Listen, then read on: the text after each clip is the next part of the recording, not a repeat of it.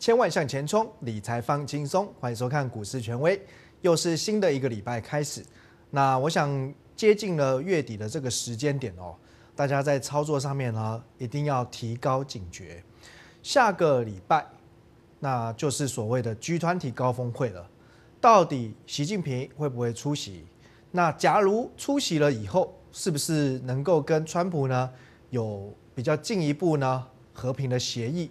这个呢都是市场现在呢可以说是最关心，而且也是最担心的变数。那目前的台股指数，你看成交量就知道，观望的气氛非常的浓厚。好，今天的量呢？在还没有加计盘后成交量的状状况之下，是没有到八百亿的。好，那基本上呢，在没有量的状态之下，行情呢最好的状态就是维持横向的狭幅整理。那我说最近的区间呢，大致上呢涨要过季线不容易，那跌年线应该呢也会有支撑，也应该要守住，因为呢啊包含费半，包含上证呢，目前呢。啊，年线都是支撑，所以台股呢是不应该跌破年线。好，所以呢大致上呢区间就在这里。但是再过两个星期后，在六月底结束以后，如果呢贸易战，哦没有办法呢有比较和平的协议，甚至川普又把三千两百五十亿的商品客关税拿出来对付中国，那其实台股呢再来测前低的压力就会浮现。更何况呢？哦，从本月底开始，包含台积电率先在六月二十四号出席，后面呢进入到七月以后、八月以后，会有非常多的大厂都开始加入除息行列。估计呢，整个台股指数也因此要至少蒸发掉大约四百四十点。那你想看，如果把现在的大盘哦一万零五百四十点扣掉除息，甚至再加上除权。那你要知道，其实呢，这个前低一零二二七，它一定会跌破，甚至呢，连万点都有可能来做回撤了。好，所以我们必须要让大家先把未来一周、未来两周，甚至未来两个月的行情的发展，先有一个准备的蓝图，这个计划表你要先掌握住，那你才很清楚知道说，在现在的消息面变化这么快的状况之下，操作。你要跟着什么方向来走？如果你是看消息，那基本上我常说利多利空利多利空，几几乎它就是每天都在变。那如果看消息面看报纸来做股票，那同样的基本上呢，每天的流行的题材族群也都不一样，所以我不会去好鼓励大家做那种好像特别因为报纸去点火的股票。或者说流行的题材，因为你会觉得长期下来吼，身心俱疲啊，会很累，然后赚不到钱。那当然面对变数呢，好，有的时候闽南语话叫做“西龟爱挖短饼”。那这句话我们把它套用在股票市场操作，意思就是说呢，你要找靠山，你要找什么样靠山呢？大家想想哦，在股市里面。如果说要来比谁最了解一家公司未来的发展，那一定是内部人、大股东，好，没错吧？那如果要来比谁的资金实力最强、钱最多，可以来撼动这个股市的方向，那肯定是外资，还有呢政府基金。那谁是一定要有股票，而且呢每天。埋头苦干在拼的就是什么？短期绩效，这个叫做投信以及自营商。所以你大致上呢，把这些市场上的法人或者是大户他们的想法跟他们的操作逻辑弄懂之后，再来配合你自己的操作习态哦，你就知道说，习归爱挖短兵，你要看什么筹码。那我们讲哦，筹码的分析其实是非常多元的。有外资、有投信、有自营商，就是俗称的三大法人，特色各不相同。那当然也有董监、融资、融券。那再进一步来说呢，啊，像这几年市场上呢有很多私募，那发的可转债也会影响到股价，还有办呢现金增资、现金减资、千张大户、地缘券商，啊，这些呢都是呢进阶的筹码分析，啊，整个从入门出阶的筹码，看到呢进阶的分析，你就知道说，其实筹码有很多的玄机藏在里面。那因为再过两个礼拜，贸易战，啊，可能要到了一个。近期要相对摊盘的时刻，要小心的就是，如果事情的发展是不符合市场的期待，哦，那可能美国股市就会开杀，陆股呢可能也会跌，那台股当然也会受影响。那这个是最坏的打算。那在这个前提之下，啊，我会建议第一个，你如果要抢电子股的跌升反弹，手脚。一定要快，该买的时候，股票底型出来了，有大户或法人筹码进驻的时候，该买你就要买了。不要说你一定要等到它哦利空全部消失，还是说一定要给你打出一个很漂亮的底型再拉上去？因为现在都是呢速食餐，现在做电子股的钱都是快钱，所以。如果你要抢跌升反弹电子股，第一守则就是一定要手脚快。那万一行情结束或走势不如预期，敢买也要认输啊！哦，如果做的不如预期的时候，该认赔的时候，停损点一定要把关严格一点。那如果你是着眼在中长期的投资，这时候呢，思考的角度哦，就要去想，假如贸易战呢？越打越激烈，而且是长期抗战。什么产业、什么个股不怕贸易战？哦，你要从这个角度去想，先做好沙盘推演。那待会在节目里面，我就会跟各位讲，哦，有哪一些方向它是不会受贸易战的影响的。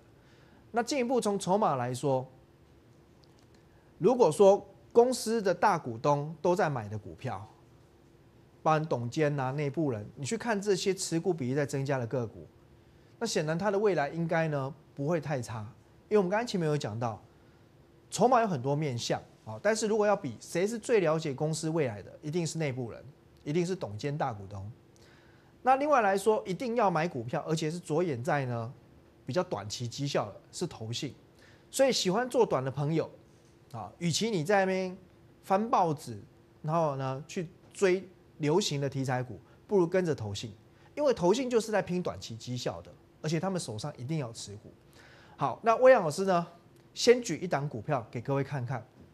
好，那这是二三一七红海，在过去七个月以来的股价走势图。各位看到股价呢，先是下跌之后，然后盘了大概呢四个月的底部，接着呢喷出大涨了一段，从大约大概七十块附近涨到九十七点二，接着呢。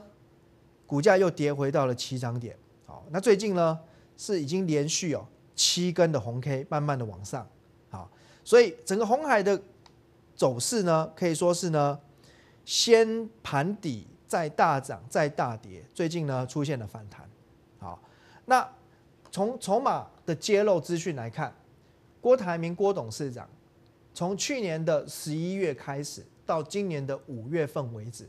已经连续七个月增加持股，啊，他自掏腰包去市场上买进了红海的股票。我想大概所有的媒体，好都会去报道，都会去提到这一则资讯，而且呢，应该都会把它当成利多在报道。那这是不是利多？这当然也是一个利多，没有错。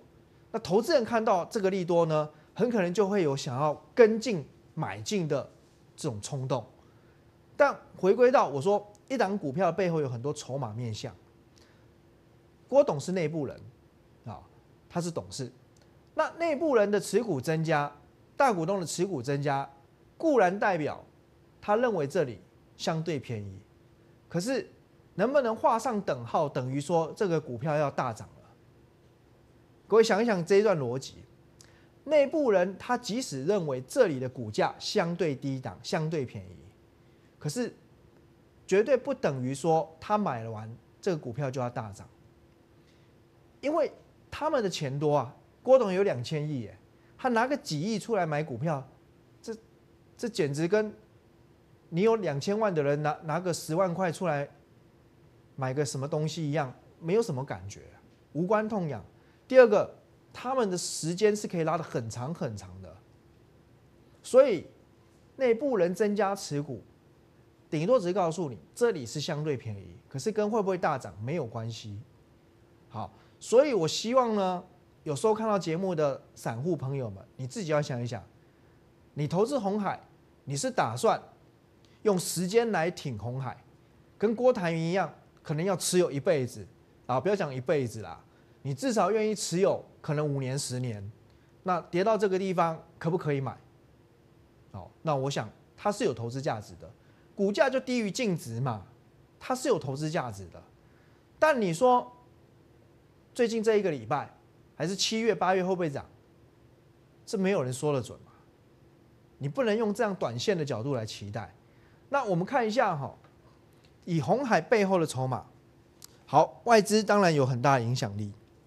那各位看一下哦，外资从三月底之后翻多买进，那就配合这一波股价呢大涨上去，涨到最高九十七点二，外资都还在买。好，结果呢，股票跌下来之后，外资大概在五月中旬，好开始呢转为卖超，然后就一路连续的卖。好，那卖到股价呢见到低点不再破低之后，外资也还在卖，但是股价开始呢反弹往上。所以你从外资的动向来说，你这么对照股价，应该有一种感觉，外资好像是在追高，然后呢买买买买到呢后来都涨不动了，还在买，结果跌下来之后就开始杀低，杀杀杀，他一路卖，卖到呢跌不下去了，他还在卖，所以你可能会解读成，啊外资以为他多厉害，结果也不过是个三脚猫，追高杀低，可是真的是这样吗？我跟大家讲，其实外资的资金有分成主动操作的基金，透过选股、透过低买高卖、买卖点的判断进出，这个叫做主动式的基金。可是现在呢，规模很大的，而且一直在成长的，是被动式的资金，也就是 ETF。ETF 的特色是什么？四个字就能够代表，就叫做追高杀低。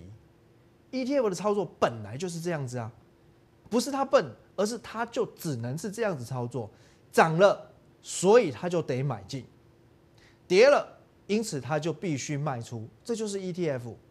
所以你不用觉得奇怪，更不用去嘲笑，怎么外资好像也傻傻的，哦，他的做法就是这样子。所以你不要想说红海是全职股，那你就来看外资跟着他做，也很容易吃亏。那反过来说，我刚才讲。如果你啊既没有要像大股东一样呢天长地久，然后呢你也比较喜欢呢有一个哦短期或者是一个小波段的操作，其实投信是最适合大家参考的，因为投信呢是手中一定要持股，而且着重在短期的绩效比较。那我们看投信怎么做，股价呢跳空往上一开始起涨之后，投信呢就开始强力的回补了，那连续买进之后。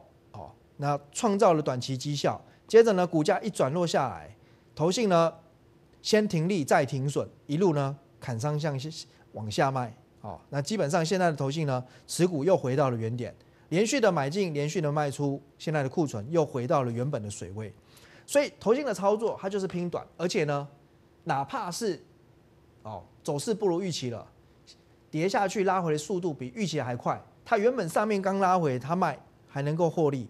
接着再跌，它继续卖，这里应该已经是停损了，啊，但是呢，资金收回来再做下一档，所以你们如果要做短期啊，记得纪律很重要，然后你可以参考投信。那做短期的人，你就要服气哦，该跑该认输，就不要犹豫，就不要犹豫啊，那资金收回来才能够呢有效率、有节奏的操作下一档。那至于说着眼在贸易战底下，我们要怎么样趋吉避凶？什么样的产业跟什么样的筹码特性适合我们现在呢？可以危机入市。下一个阶段回来，威廉老师呢会给大家答案。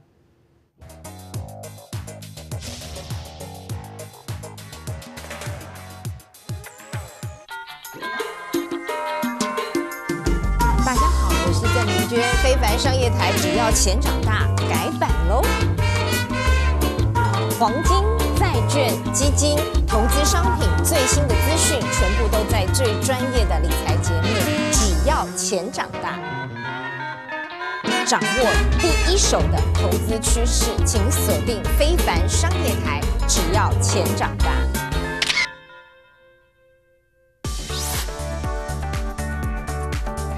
周一至周五上午九点到下午一点半，非凡抢先报，锁定非凡，掌握未来。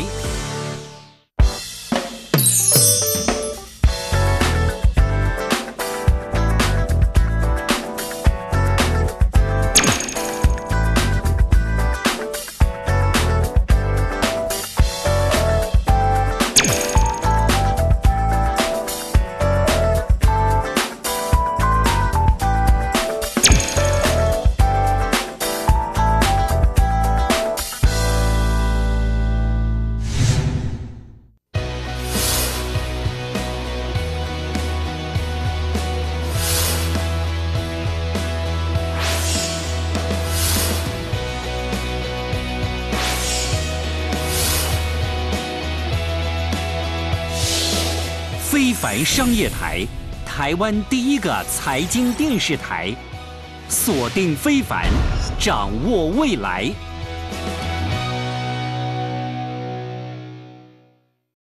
每天看这么多的数字在跳动，经过比较就会有意义。外行在看热闹时，内行的已经在看门道了。钱所衍生出来的食衣住行，这就是财经。全世界的任何风吹草动所产生的蝴蝶效应，就是我们要告诉你的财经。非凡商业台。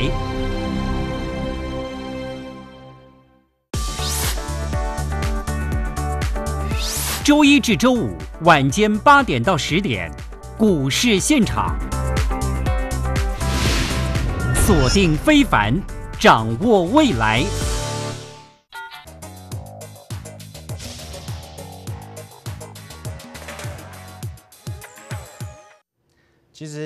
我用三句话可以给各位一个很清楚的操作方向。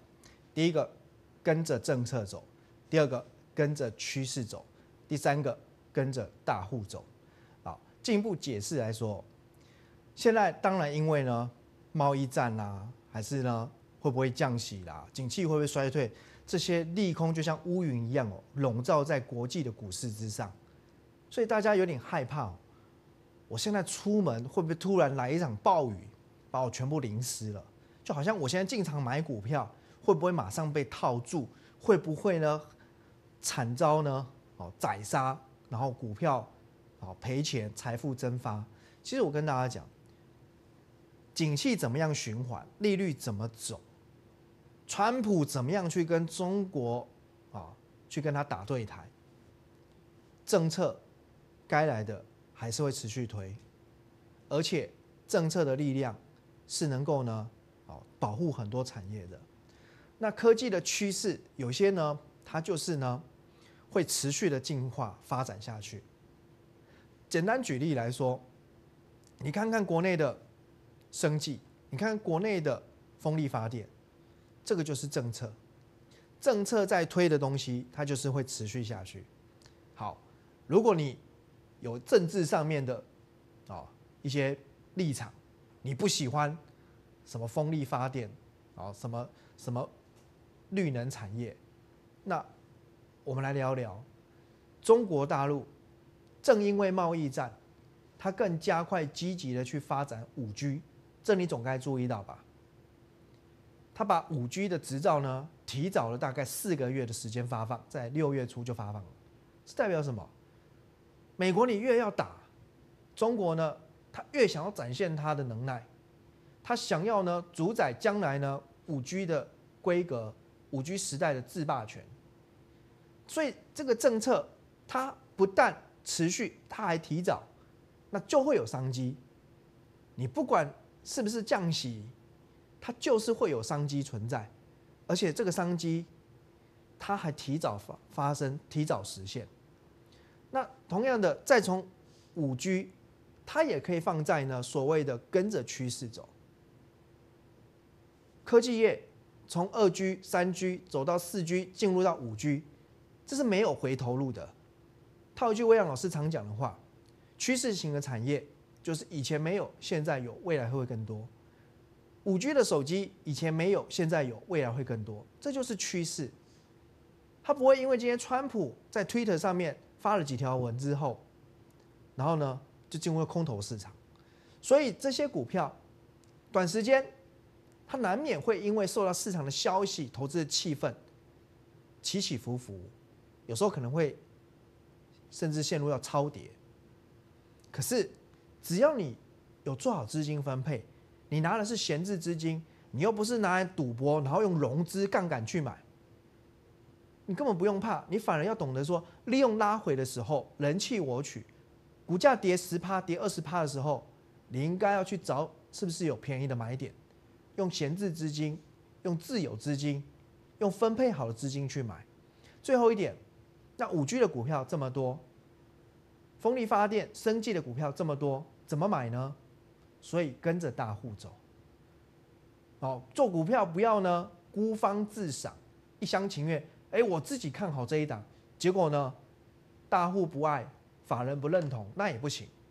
所以最后你就搭配哦，看筹码。那我刚才讲了，看你要做的是长还短。如果你看的是董监持股增加，内部人持股增加，那你的气就要很长哦。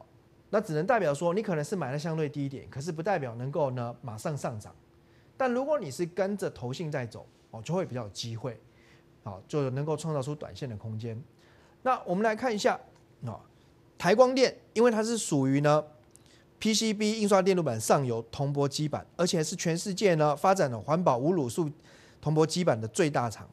啊，那因为这是属于呢在五 G 底下呢会最先受惠的个股，最先受惠的次产业。啊，因为从拉货的一个动能顺序上面来看，啊，PCB 的上游本来就会先开始受惠。那因此呢，预估因为今年的订单好会明显的成长，公司也提早开始准备了扩产。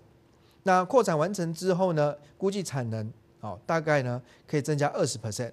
好，那我们看到投信是不是在最近开始翻多买进？好，这就符合我们讲的投信它为什么要买？你一定要有基本面看好的这个依据，或者说基本面成长的动能，它才会愿意。砸钱下去嘛？那投信呢？他要的是短期的绩效，他不是像董监大股东，他要长期的，他要的是短期的绩效。买的低或买的便宜，对投信来说并不重要，他要的是能够涨上去。所以你看到投信最近呢，在最近几天里面，他几乎都在买，代表呢，这就是一个布局的时间点到了。那因为投信买上去，我们也看到了借券卖出哦。是不是增加在这个位置？那代表说呢，现在股价比当初放空的成本还要高，那这个就形成了嘎空嘛。所以从台光电的筹码来看，简单来说，投信开始拼绩效，开始锁码之后，嘎上去，嘎到空单的。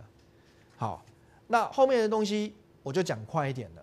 好，所以外资有时候他买的是看好产业的未来，可是短期不一定会动。那你短期要有表现。最好是结合有投信的筹码，至少投信买的标的的背后不要有什么外资来对做这种情形。那我们看几个标的都是这样子哦，九九三八百合，这是运动里面的鞋材啊，艾迪达概念股，股价今天创高，外资买，投信买。那我们再看呢，哦，生技股里面的医材股邦特，外资买，哦，连续买，那大户持股呢大幅度的增加。好，所以这个显然有可能是大股东加上外资都强力的翻多，股价呢今天也创了新高。那反过来，好，邦特融资反而是在最近三年的低点。这种散户不喜欢的股票，之前觉得说可能涨的速度不快，可是呢，悄悄的股价呢创下了近期的波段新高了。好，那美食呢？哦，这个就是市场的热门的玄名药，外资也买。那投信呢，上周开始翻多。那六月营收呢？哦，应该就会开始有比较强的动能表现。而且，如果六月营收上去哦，这可能是整个到下半年哦，营收大好的开端而已。好，那银建股我讲很多次，华固哦，投信呢持续的买。那我想呢，哦，这种受惠于台商回流，那推商办厂办，哦，那殖利率呢也高，当然可以安心。所以当然大部分你如果要规避贸易战，哦，甚至从贸易战当中成为受惠的产业，还是要锁定在船产为主。那电子股部分呢，就是要跟着政策跟趋势。那接下来我还有一档呢，啊，今天开始布局的标的，那后面还要持续买进的标的，希望呢邀请大家一起来共襄盛举。那这一档个股呢，它第一季的毛利率就大幅度的成长了超过十个百分点，而且呢是单季毛利率的新高，估计今年的获利会高成长，而且创下历史新高。那我们看到这两个股呢，大户持股哦。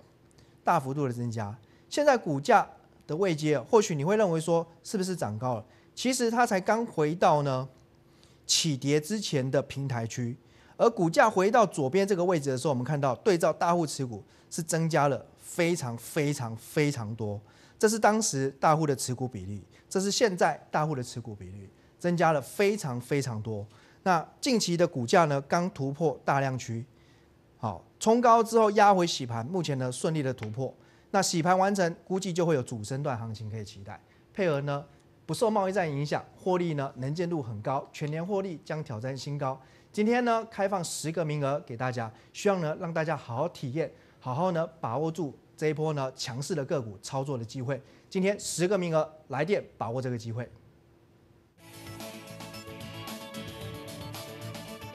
本公司与所推介分析之个别有价证券无不当之财务利益关系。本节目资料仅供参考，投资人应独立判断、审慎评估，并自负投资风险。